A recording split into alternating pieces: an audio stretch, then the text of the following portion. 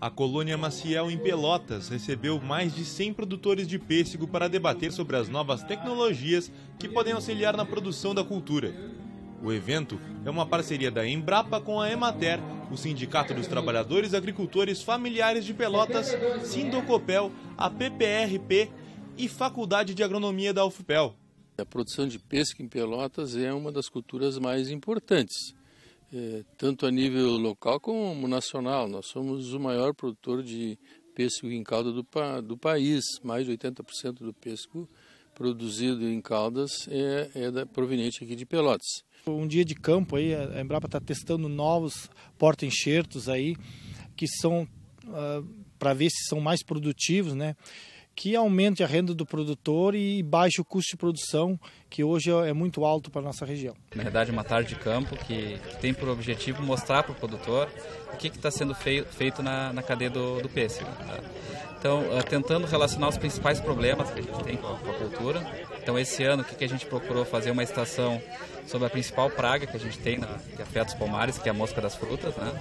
Então, tentando uh, trazer para o produtor alguma estratégia, alguma nova tecnologia de controle. A mosca das frutas é uma das principais pragas do pessegueiro. É, o que nós estamos demonstrando aqui para os produtores hoje é a tecnologia que nós temos para fazer o monitoramento e o controle das moscas das frutas. E também passando algumas informações mais básicas sobre o ciclo de vida do inseto, uh, como é que ele vive na natureza, qual é a relação dele com a temperatura, com a umidade. O evento contou com estações de manejo e conservação do solo, porta-enxertos e sobre a mosca das frutas, a principal praga da região. Cada estação tem um objetivo de informar e capacitar o produtor para lidar com as adversidades encontradas na produção da cultura. É uma, um evento né, para mostrar as novas tecnologias que a Embrapa tem, na verdade, né, que são a questão de, de vários fatores, principalmente a questão de porta-enxertos, né, que tem uh, a questão nossa esse ano, além do, dos preços baixos, também a baixa produtividade que nós temos aqui nos nossos pomares. Né? A tecnologia, não, não tenha dúvida, que é o maior insumo, o mais importante insumo eh, na produção de qualquer, qualquer cultura. Hoje o que nós temos de tecnologia disponível, tanto para monitoramento quanto para o controle, já são suficientes para o produtor ter sucesso eh, na produção de pêssego. Eh, o que nós é, o que muitos não sabem, na verdade, é o uso correto da isca né, para capturar os adultos da mosca e o momento que você tem que fazer a aplicação. Por exemplo, aqui na, nessa propriedade é uma propriedade que tem esse trabalho da Emater, mostrando tecnologias de controle para a mosca das frutas. Né?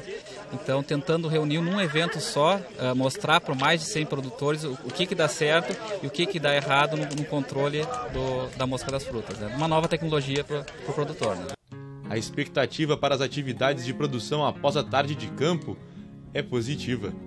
Eu tenho certeza que nós vamos ter é, um resultado é, bastante positivo é, no sentido de cada dia irmos é, melhorando cada vez mais a nossa produção e remunerando melhor é, as famílias que produzem pesco aqui em Pelotas.